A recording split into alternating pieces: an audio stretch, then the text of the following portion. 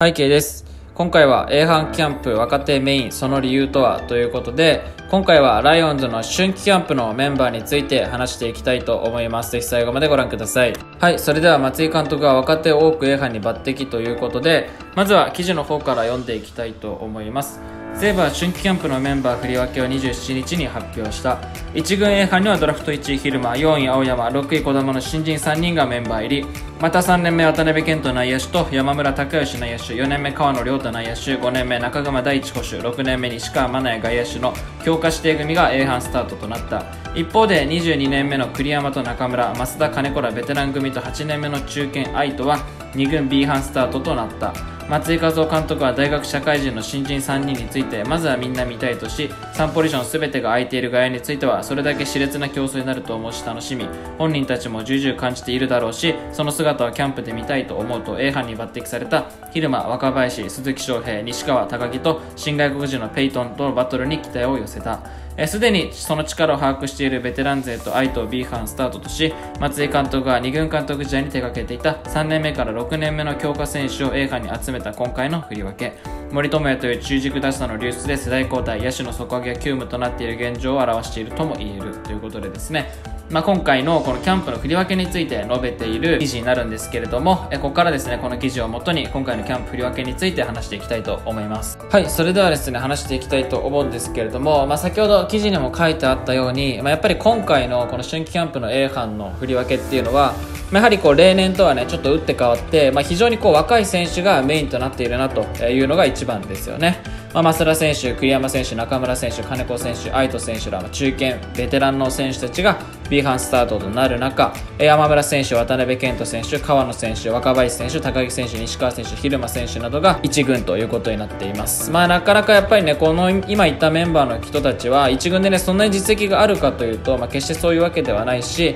まあ、なんならね、1軍出場を果たしていない選手もいる中で、まあ、それだけね A 班に入ったという形なので、まあ、かなりね実績重視っていうよりかは、まあ、やはり本当にこうポテンシャルだったりとか、ま、すごい期待している部分が一番大きいのかなというふうに思いました、まあ、とはやっぱりねこう狙いですよね、ま、先ほどこう記事にも書いてありましたけれども、まあ、熾烈なレギュラー争いをしてほしいということをね監督も述べていました。やっぱり今のライオンズは非常にこう野手っていう部分に課題を抱えていてその中で森友哉選手も移籍をしてしまったというのがあります。なのでやはりね今後、まあ、今シーズンはもちろんですし来シーズン以降戦っていく上でも野手の育成新レギュラーの誕生っていうのは、まあ、必要不可欠になってくる部分があるんですよね、まあ、その前からすでにもう浅村選手だったり秋山選手も抜けてしまっている。でその中で新しい選手が誰も出てきていないという現状がある。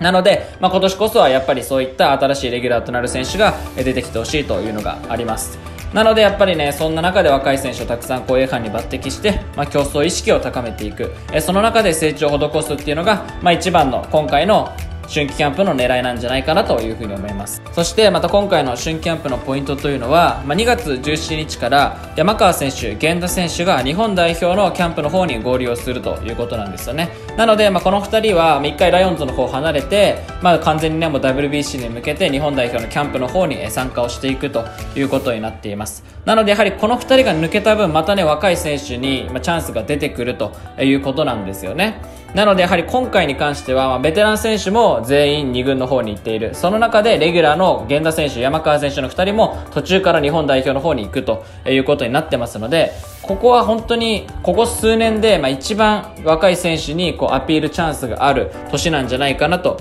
いうふうに思っています。なのでやはりなんとかねこのチャンスをやっぱり若い選手には生かしていってほしいですし、まあ、今年こそ、まあ、しっかりとオープン戦でアピールを重ねて開幕スタメンまず勝ち取ってでシーズン入ってからも結果残し続けてレギュラーっていうところをね掴んでいってほしいかなというふうに思います、まあ、ただねこの人生の中で、まあ、ちょっとだけね疑問もあります。えそれが長谷川選手中見川選手が外れたということなんですよね。まあ、先ほどこう記事にも書いてあったように、まあ、何人かこう選手呼ばれてましたけれども、まあ、指定強化組というふうにねくくられていたんですよね。まあ、指定強化組に、まあ、西武最有力プロスペクトで言われている長谷川選手そしてロマン枠の中見川選手が入っていないのかっていうところがね、まあ、ちょっと疑問には思いました、まあ、ちょっとやはりこう B 班スタートということなんですけれどもまあ、もしかしたらやっぱり、まあ、特に中見川選手に関してはまだね1軍での経験がないっていうところ。まあ、2軍ではねちょくちょくこう成績は残せるようになってきましたけれども、まあ、まだまだこうやはりレベルとして1軍レベルではないっていうふうに首脳陣から満たされている可能性もまあなくはないかなというところですよね、